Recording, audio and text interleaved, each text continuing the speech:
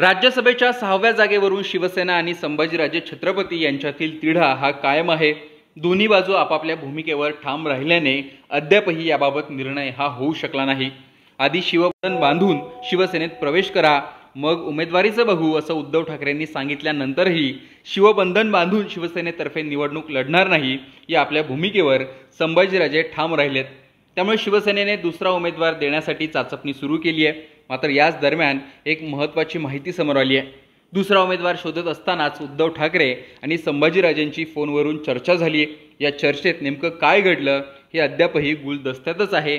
मात्र मिळालेल्या माहितीनुसार उद्धव ठाकरेंसोबत संभाजीराजेंची चर्चा झाली आहे. त्या चर्चेनंतर संभाजीराजे हे तातडीने कोल्हापूरवरून मुंबईसाठी रवाना झाल्यात मुंबईकडे निघण्याआधी संभाजीराजेंनी पत्रकारांशी संवाद साधला.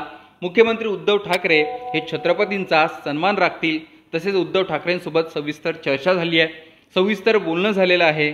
पुढे काय करायचं ते सविस्तर ठरलं आहे मला पूर्ण विश्वास आहे की उद्धव ठाकरे ठरल्याप्रमाणे सगळं नीट करतील. मुख्यमंत्री उद्धव ठाकरे आणि संभाजीराजे छत्रपती यांची काय चर्चा झाली याबाबत महाराष्ट्रातील जनतेला मोठं कुतूहल आहे.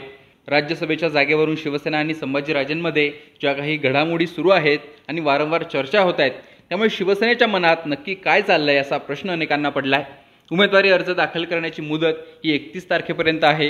त्यामुळे आता काही दिवस शिल्लक राहिलेले असताना उमेदवार जाहीर करणं आवश्यक आहे.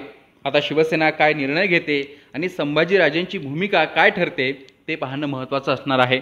तुम्हाला काय वाटतं? शिवसेनेतर्फे संभाजीराजेंना उमेदवारी दिली जाऊ शकते का? यावर तुमची काही मतं असतील ती कमेंट बॉक्समध्ये नक्की सांगा.